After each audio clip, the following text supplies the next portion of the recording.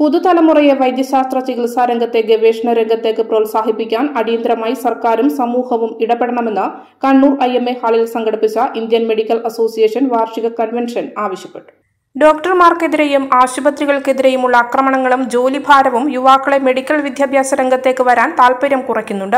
ആതുര ശുശ്രൂഷ രംഗത്ത് സേവന സന്നദ്ധതയും നൈതികതയും ഉൾക്കൊണ്ടുകൊണ്ട് പുതുതലമുറ ആധുനിക വൈദ്യശാസ്ത്ര രംഗത്തേക്ക് കടന്നുവരേണ്ടത് ഈ രംഗത്തെ ഗുണമേന്മയോടെ നിലനിർത്താൻ പര്യാപ്തമാണെന്ന് ഐ വിലയിരുത്തി.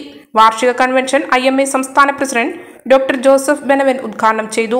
I M A Kannur headquarters branch പ്രസിഡന്റായി പ്രമുഖ ന്യൂറോളജിസ്റ്റ് ഡോക്ടർ നിർമ്മൽ രാജ് സ്ഥാനാരോഹണം ചെയ്തു. പരിയാരം ഗവൺമെന്റ് മെഡിക്കൽ കോളേജിലെ ന്യൂറോ സർജൻ ഡോക്ടർ ഉണ്ണികൃഷ്ണനാണ് പുതിയ സെക്രട്ടറി. സംസ്ഥാന പ്രവർത്തക സമിതി അംഗമായി ഡോക്ടർ സുൽഫിക്കർ അലിയെയും ട്രഷററായി എം കെ ജയചന്ദ്രനെയും തെരഞ്ഞെടുത്തു. വൈസ് പ്രസിഡന്റായി doctor Rajmohan doctor Beena K joint സെക്രട്ടറിയായി ഡോക്ടർ അർജുൻജിത്ത് എന്നിവരെയും തെരഞ്ഞെടുത്തു.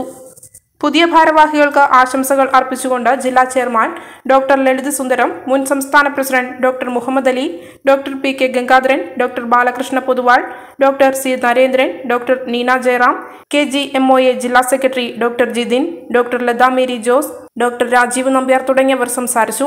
എഴുന്നൂറിൽ അധികം മെമ്പർമാരുള്ള ഉത്തര മലബാറിലെ ഏറ്റവും വലിയ ബ്രാഞ്ചുകളിൽ ഒന്നാണ് കണ്ണൂർ ഐ എം എ. എല്ലാ ആഴ്ചയും സ്ഥിരമായി അക്കാദമിക പരിപാടികളും തുടർ മെഡിക്കൽ വിദ്യാഭ്യാസ പരിപാടികളും സംഘടിപ്പിക്കുന്ന ഇന്ത്യയിൽ തന്നെ മികച്ച ബ്രാഞ്ചുകളിൽ ഒന്നാണ് കണ്ണൂർ ഐ